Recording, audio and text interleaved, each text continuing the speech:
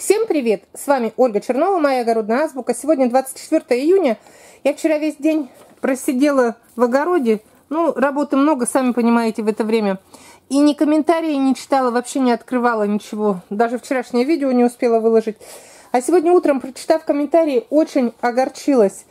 Так как в этом году год какой-то аномальный, у многих-многих огородников очень такие большие неприятности. Вот написала мне Зина, а у меня ничего не растет. Теперь уже готовлюсь на следующий год. Это она написала к видео про огурцы. Когда я говорила, что огурцам делаю витаминную подкормку, сейчас вот пришла посмотреть, огурцы выглядят шикарно, очень много, увеличились они прям, ну, хороший результат у огурцов. Но не у всех так. И вот, а Яна написала, что наши помидоры заморозка 20 июня не выдержали. Приехала на дачу, там черные палки стоят, просто руки опустились. Представьте, такого сроду не было, чтобы в конце июня был мороз, 20 июня. Но тут я хочу сказать самое главное, не опускать руки. Урожай можно получить из тех, в тех условиях, которые сейчас Пусть он будет чуть позже, пусть он, пусть он будет чуть меньше. С огурцами вообще нет проблем. Посеять еще раз скороспелые сорта, и через 45-50 дней у вас уже будут в середине августа огурцы. Я всегда делаю еще один посев поздний. Сейчас я вам его покажу. Вот здесь вот рядом с арочкой я сделала еще одну грядку, видите? Прям буквально несколько дней назад я посеяла еще одну партию огурчиков – которую я рассчитываю в августе и в сентябре получить. Выбрать, если скороспелый сорт, они огурцы очень, ну как быстрые, это не томаты, их не надо 60 дней в рассаде держать, они очень быстро вырастут. И если есть у вас возможность, то лучше такую грядку сделать, конечно, с последующим укрытием, так как урожай будет более поздний. И если у вас, например, в сентябре заморозки ожидаются, Лучше потом поставить дуги и закрывать их нетканкой. Но с огурцами проблем нет. Даже сейчас, в конце июня, можно посеять. Я вот говорю, я посеяла прям буквально, ну, неделю, там, дней 8 назад. Тепло, поливаю, подкормила, вот положила перегноя. Второй урожай огурцов у меня, наверное, будет, скорее всего.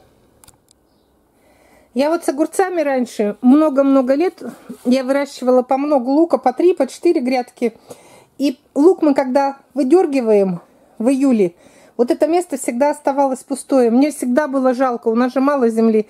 И я постоянно эти пустующие грядки из-под лука, я делала лунки и сеяла туда огурцы. Это был конец июля. Вот конец августа. В начале сентября они начинали плодоносить. Да, у них была недолгая жизнь, непродолжительная, но зато мы осенью ели вот такие вот свежие такие очаровательные, хрустящие корнишончики, потому что делала это так, потому что к этому времени те огурцы, которые посажены рано, вот эти вот, они же уже почти закончат свое плодоношение. Огурцы не вечные, они вот сейчас у меня ползут, ползут, ползут. Вот видите, и там уже конец теплицы. Ранний урожай, он до сентября обычно не сохраняется. Огурцы стареют, все. И я делала вот такие молодняк, подсаживала на пустующие места. Даже не говоря о том, что у меня первые не пропадали, я всегда делаю второй посев огурцов. А у тех, у кого повредилось от мороза или чего-то там от сырости, корневые гнили, ну, короче, погибни, погибли, зачахли огурцы, второй посев нужно делать обязательно.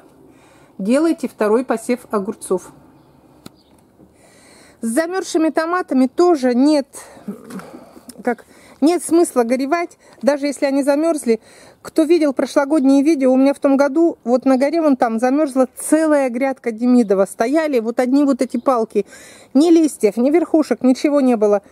Томаты прекрасно обрастают, можно их вырастить через пасынок. Тем более в ситуации с томатами даже проще, чем с огурцами. Там не надо сеять, не нужно ждать.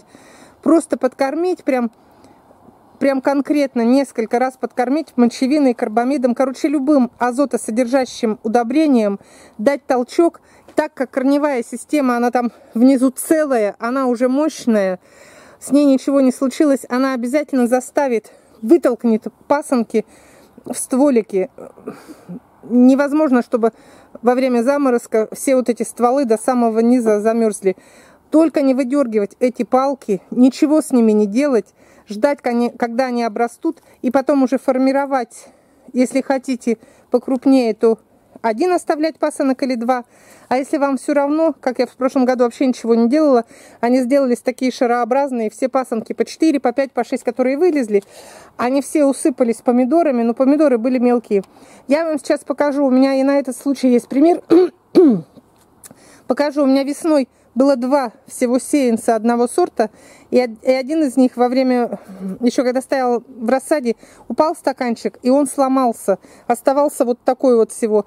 Я его все равно высадила и выращиваю через пасынок. Сейчас мы туда пройдем, и я вам его покажу. Вот у меня два сеянца, один и тот же сорт. Вы видите, что вот этот вот, он растет нормально. Так, сейчас покажу. Вот он у него стволик, он подвязан, все вот она, кисть цветочная. А вот этот совсем другой формы, потому что у него верхушка обломилась. Верхушка вот с цветочками, вот с этими, с бутончиками, она сломалась. И видите, вот они пасынки. Вот один пасынок, вот другой пасынок. И это тоже пасынок. Вот здесь вот было, видите, место облома. И была вот эта вот просто кочерышка вот такая вот пустая. Теперь раз, два, три. Ну, прикорневой я, скорее всего, выброшу. А эти, смотрите, какие толстые пасынки. Они уже все с цветочками. Они уже с цветочными кистями. Так что томат, оставшийся без листьев и без, ну, без верхней части, у него всегда целая корневая система. Он обязательно очень быстро вытолкнет вот эти пасынки из пазух. Да ведь, Надя? И все, и помидоры пусть будут позже, пусть будет не такой урожай, но их зато не надо снова сеять, не надо выращивать рассаду, они уже готовые, ну вернее полуготовые. Корневая система и начало стволика. Остальное все нарастет.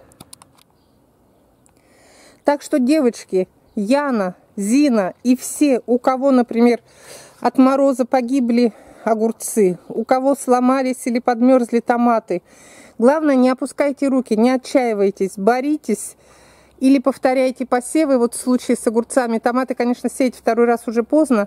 В случае с обломанными, с подмерзшими томатами, дайте им возможность, дайте второй шанс. Они обязательно порадуют вас урожаем. И обычно такие томаты, у которых первый раз не удалось вот это вот, они оказываются очень сильные, очень благодарные. Они обязательно порадуют вас своим урожаем. Да, пусть это будет немного попозже, но хотя бы не будет такого выражения, что уже готовлюсь к следующему году. Надо еще этот год отработать. Нужно бороться с природой, бороться с неблагоприятными условиями. И когда вы все это преодолеете, победите, урожай будет намного вкуснее и желаннее. Желаю всем все вот эти ошибки этого года, неприятности этого года пережить чтобы все-таки в конце сезона мы могли сказать так, да, начало года было неудачное, но зато, зато потом как все поперло. Все, желаю всем большого урожая, пошла работать.